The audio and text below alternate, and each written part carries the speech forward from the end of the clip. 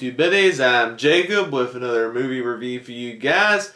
And welcome to another installment in my Celebrating Disney series where each week I review and celebrate all things Disney, animated or live action under the main Disney banner. And in this week's review, a live action review, I'll be reviewing the classic Disney sports drama from 2000, Remember the Titans.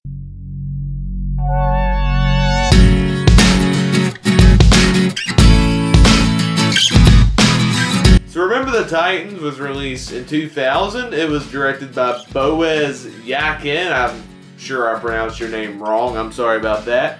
And it was one of many Disney films produced by Jerry Bruckheimer. I know he produced several other Disney sports dramas and was also responsible for producing the Pirates of the Caribbean and National Treasure franchises. The film started Disney's trend of adapting real life stories in the world of sports and making them feel good sports movies for the whole family because of the success of Remember the Titans. And that ended up spawning other sports movies throughout the 2000s, the early 2010s, films such as Miracle, The Rookie, Glory Road, Invincible, Secretariat, and Queen of Katwe, just to name a few. The only other sports drama I've reviewed on this series so far has been Miracle, a film I thought was an excellent film. I was excited to see Remember the Titans as I had never seen that film before. This was recommended me by this was recommended to me by a fellow YouTuber. Shout out to Chris from Film Stocked. So what did I think of Remember the Titans?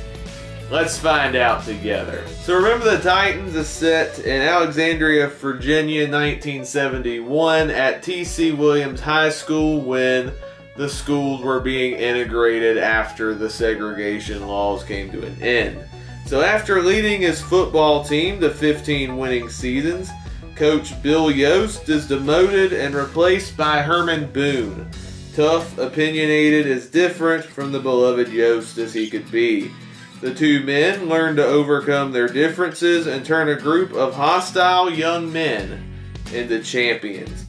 And this movie stars Denzel Washington, Will Patton, Wood Harris, Ryan Hurst, Donald Faison, Hayden Panettiere, and Ryan Gosling.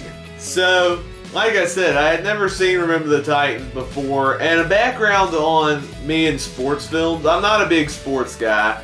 I don't follow any sports. I don't follow any athletes. Sports isn't really my thing.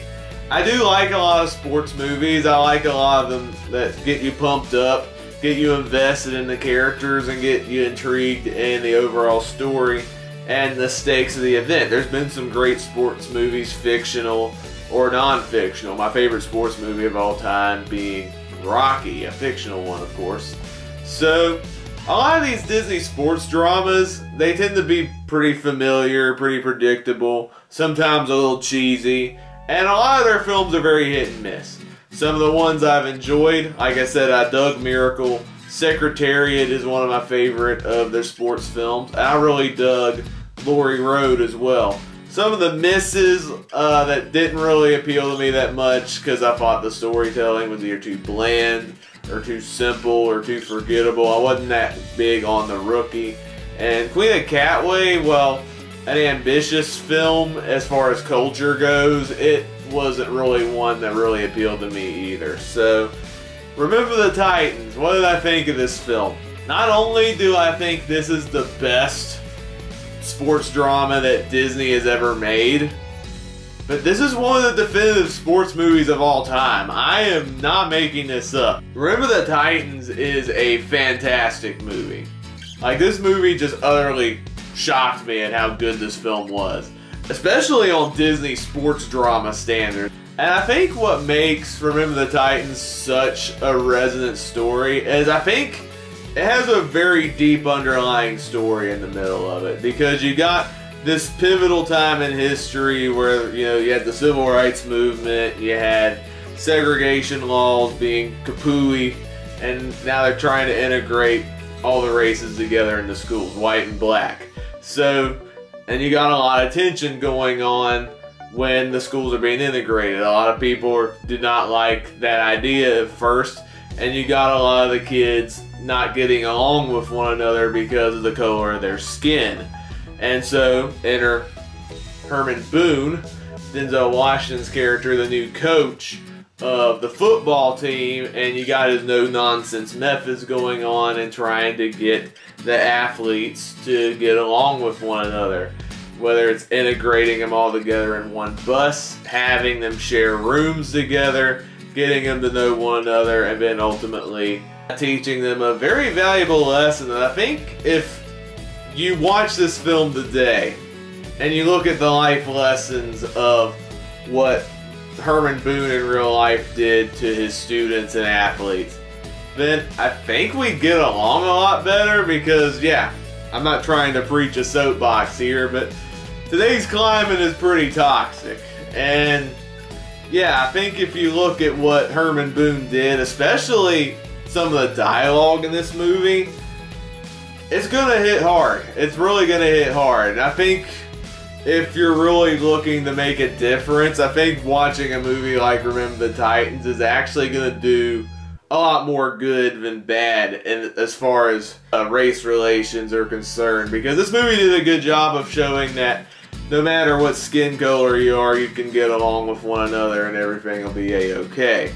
And I really love the storytelling of Remember the Titans. I love that it focused more on the dynamic of the characters over the sport itself. While football is a big aspect of the film, what blew me away more was how the movie told its story, how the movie took a bunch of characters and made you care for each and every one of them on this football team. As much as I loved Miracle, the biggest issue I had with Miracle was I did not care for any of the team members, nor do I remember any of their names. It was just more on the focus of the coach, played by Kurt Russell. With Remember the Titans, not only did I care about Denzel Washington as the coach, but I also cared about all the team members as well. Especially Gary and Julius, the two main team members of the football team, and who have this really amazing friendship dynamic the more their characters are developed. And they do bring some of the emotional crux of the movie. But there's other memorable characters in there as well. I really love Petey, who's kind of a more cowardly character in the group. And then I enjoyed seeing Ryan Gosling in an early role. He had some pretty entertaining sequences as well. There's also there's also this new student from California who was in hippie culture that moves in to Virginia and I enjoy I enjoyed his dynamic as well with the cast as well. So there's definitely a lot of good stuff with the team. I cared about almost every individual that was focused in Remember the Titans. And Denzel Washington gives a phenomenal performance in Remember the Titans. And he's given some great performances over the years, whether in playing Malcolm X in Spike Lee's iconic film or in Tony Scott's Man on Fire, or even in just fun action films like The Equalizer. This man knows his limits as an actor. He's definitely one of the shining talents in the movie industry. And one of his great performances is as Coach Boone in Remember the Titans. I enjoyed how no nonsense his character was. I love how determined he was in uniting the team together. I enjoyed how open he was and people's opinions, and I enjoyed how bold his uh, experiment was in helping bring people together when so many people were hateful to one another, especially with other races. So his performance is fantastic. I enjoyed a lot of the one-liners that he brings. And without Denzel Washington, I don't think this movie would be here as remembered because Denzel Washington is fantastic favorite line. You're killing me, Petey! Also, the soundtrack of this movie is amazing. Some, whoever came up with the soundtrack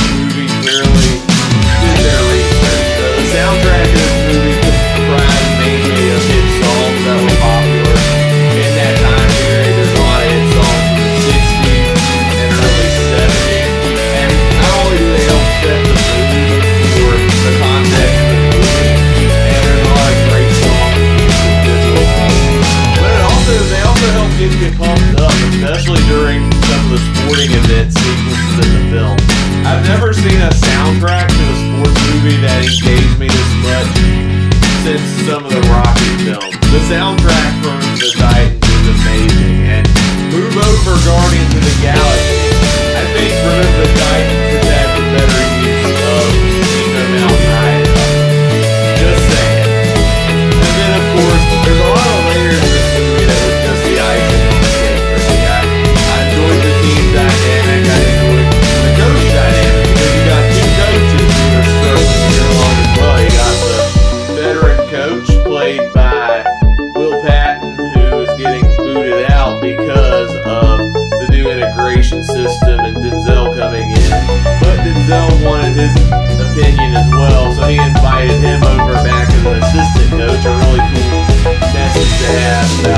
how either race is superior to one another and you can still get along and learn from one another. I think that's a great message to teach the kids.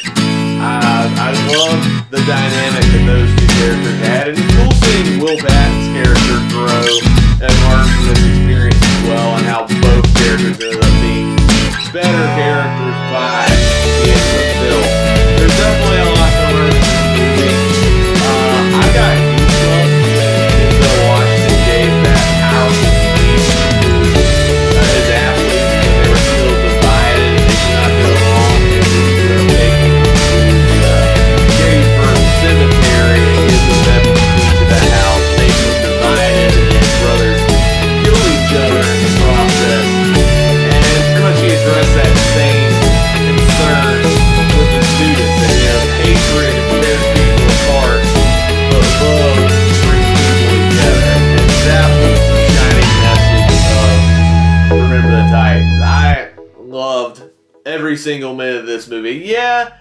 can get a little cheesy at times, some of the dialogue, some of the music score. I can see why some people would not get into this movie as much as others if cheesy sports dramas isn't really their thing, but I do think Remember the Titans checked all the boxes for me. I think there's a great story in there. I love the cast in this film.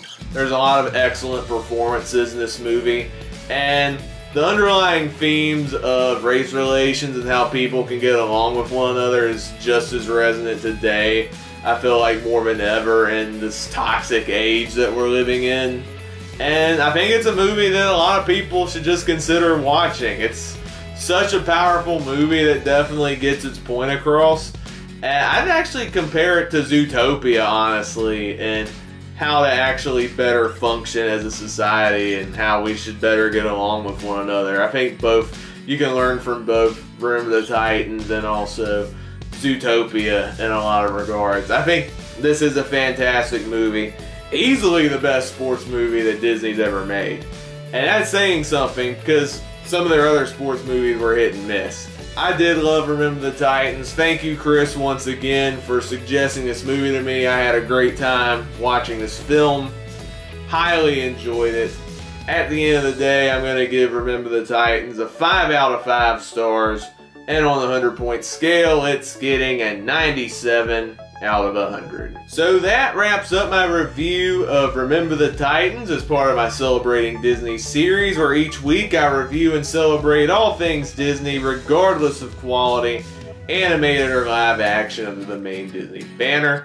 I hope you enjoyed this video. And if you'd like to catch up on some of my past videos in this series, I'll leave a link in the description below for a playlist where you can check out all the other reviews I've done in this series so far, whether it's my animated reviews or my live action reviews. I'm sure there's something you'd enjoy if you're a hardcore Disney fan, so click the link in the description below where you can see more.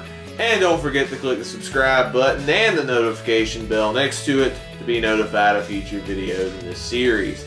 Each week on Celebrating Disney, I alternate between animated and live action reviews. My animated reviews are done in chronological order from their theatrical animated classics to the direct-to-video sequels along with Pixar. My live action reviews are more freestyle and they're prone to request. If there's any other Disney films you'd like to recommend to me in the near future, don't be shy to leave your request down in the comments below. I'll definitely take your requests under consideration and I'll definitely review them on this series at some point.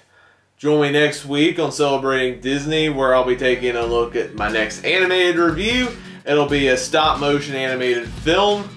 produced by Tim Burton, directed by Henry Selick. I've already reviewed The Nightmare Before Christmas. And next week, I'll be reviewing the 1996 cult classic, James and the Giant Peach. So be on the lookout for that review coming next week. But if you've seen Remember the Titans, let me know down in the comments below. Would you follow the film? Did you love it? Did you hate it? Were you mixed on it? But whatever your thoughts are, please be civil and respectful of others. If you enjoyed this video, please give it a thumbs up. Click the subscribe button to see more content and the notification bell next to it to be notified of future videos. If this is your first video, besides movie reviews, I also do TV reviews, ranking videos, and other fun stuff along the way. I have some more videos planned for you soon. Hope y'all have an amazing day. God bless, and I will see you next time. Goodbye!